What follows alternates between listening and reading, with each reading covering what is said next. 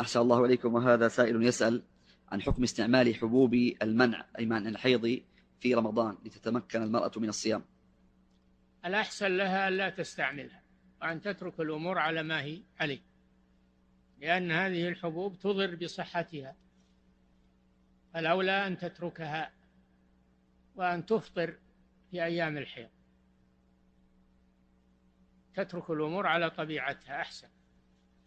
فإن كانت أصرت إلا تأخذها لأجل تصوم فلتستشر طبيبا في نوع الحبوب.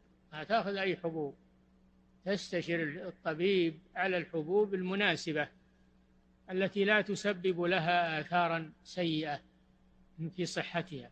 نعم.